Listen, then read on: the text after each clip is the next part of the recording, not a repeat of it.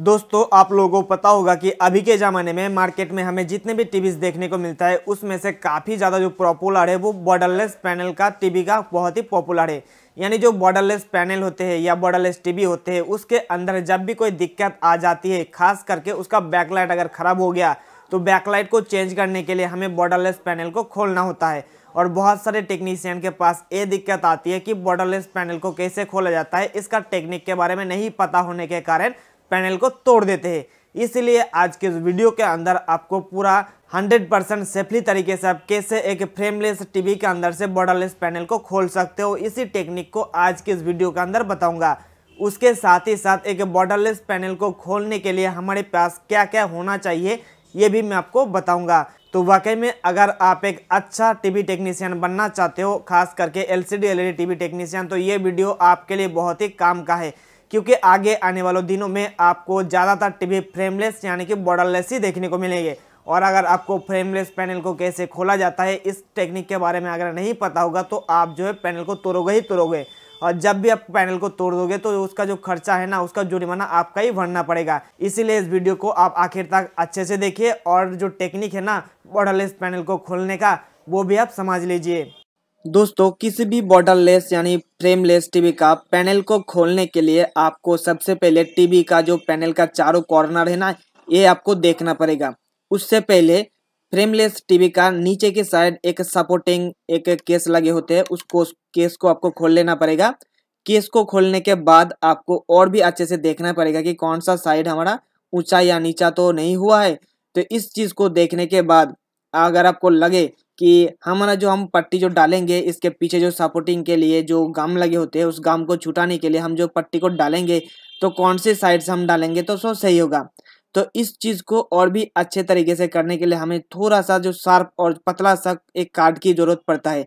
तो यहाँ पे हम लोग इस्तेमाल करता हूँ इस टाइप का कार्ड को, जो कि आपको जो मोबाइल का स्क्रीन होता है स्क्रीन गार्ड को लगाने के समय इस टाइप का कार्ड जो मिलता है उसी से ही काम बहुत ही अच्छे तरीके से होते तो हमने पहले से ही डिसाइड कर लिया था कि इस साइड से हम इस कार्ड को डालेंगे और धीरे धीरे बहुत ही ध्यानपूर्वक चारों साइड हम घुमाएँगे।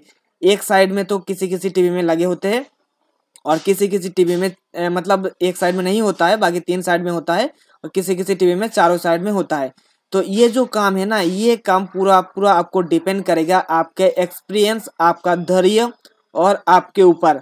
अब जितना निखुत तरीके से आप करोगे, उतना ही अच्छे से आपका काम हो पाएगा।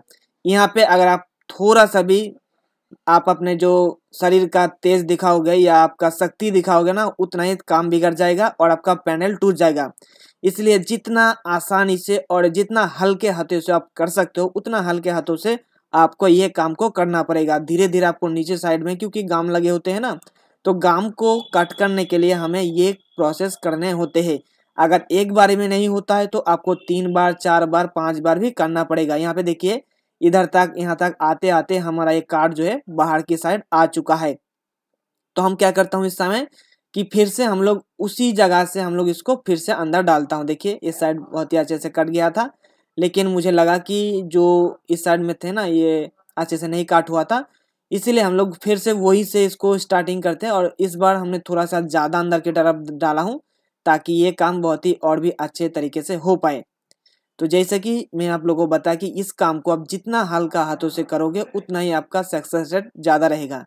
तो जो लोग नया नया जब भी इस काम को करने जाते हैं ना तो पैनल को तोड़ता ही तोड़ता है हंड्रेड परसेंट तोड़ेगा ही तोड़ेगा। अगर आपने इस टाइप का काम को आपने कभी प्रैक्टिस नहीं किए होंगे तो आपके पास पैनल टूटेगा ही टूटेगा। हमारे पास क्या होता है कि जो पुराना टीवी आते हैं बॉर्डरलेस पैनल जो टूटा हुआ पैनल होते हैं तो उसके साथ हम लोग इस तरीके का जो एक्सपीरियंस और जो काम जो करते रहता हूँ, इसलिए जो है हमारा एक्सपीरियंस बढ़ जाता है।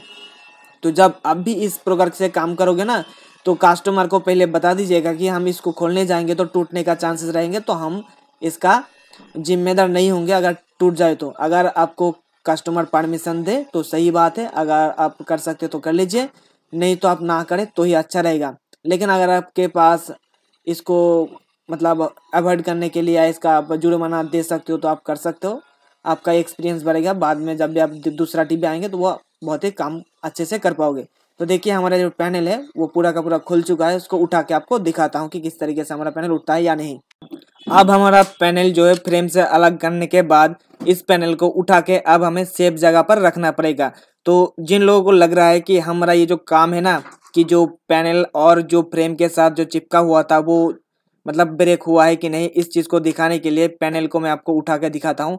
इसके लिए मैं इस साकर को इस्तेमाल करूँ, करूँगा, क्योंकि जब भी मैं कोई पैनल को खोलता हूँ या इधर से उधर करता हूँ तो इस टाइप का चीज़ को मैं इस्तेमाल करता हूँ।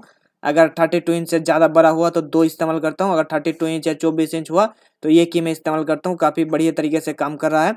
अगर आपको ये इस्तेमाल नहीं करना आया तो आपके हाथ से गिर भी सकता है, इसलिए बहुत संभल के ये वाला चीज़ को इस्तेमाल करने होते तो हम अपने एक फ्रेम को, यानी कि पैनल को इस बॉक्स के अंदर सेफली तरीके से रख दिया और मैं अब इसको क्या करूँगा कि ढक के रख दूँगा। जब भी कोई मैं बैकलाइट को रिपेयर करने के लिए पैनल को खोलता हूँ ना तो इसी के अंदर मैं अच्छे से सेफली जगा के रखता हूँ ताकि ये हमारा टूटने का खतरा वगैरह ना रहे तो अब इसके सारे चावे हम लोग इसको साइड कर देंगे। तो देख लिया दोस्तों, एक फ्रेमलेस टीवी के अंदर से बॉर्डरलेस पैनल को कैसे खोला जाता है। तो मुझे उम्मीद है कि आपको ये वीडियो बहुत ही पसंद आया है। अगर पसंद आए तो इस वीडियो को लाइक कर दीजिएगा और इसी प्रकार के वीडियोस आगे आने वाले दिनों में अगर आप देखना चाहते हो तो चैनल को सब्सक्राइब करके बेल आइकन को प्रेस कर लीजिएगा। और अगर आपके मन में इस टॉपिक को लेकर कोई भी सुझाव या सवाल है तो नीचे कमेंट करके बता सकते हो। मैं आपका कमेंट का रिप्लाई बहुत ही जल्द करूँगा। और लास्ट में आपको बताना चाहूँगा कि बॉर्डरलेस पैनल को खोलने के बाद कैसे दोबारा बॉर्डरलेस पैनल को लगाया जाता है टीवी के अंदर, इसका टेक्निक के बारे में अगर आप जानना चाहते हो तो आपको नेक्स्ट वीडियो में इसके बारे में टोटल जानकारी मिलेगा कि एक बॉर्डरलेस पैनल को टीवी के अंदर फिट करने के लिए या सेट करने के लिए हमें कौन कौन सा मटेरियल्स की ज़रूरत पड़ेगी और उसका जो पैनल को लगाने का जो टेक्निक होता है ना, वो टेक्निक क्या होता है? तो इस वीडियो के लिए तो पक्का आप चैनल को सब्सक्राइब करके जुड़े रहिए। तो आज के इस वीडियो में इतना ही दोस्तों, हम फिर मिलते हैं नेक्स्ट वीडियो में, तब तक के लिए ऑल द बेस्ट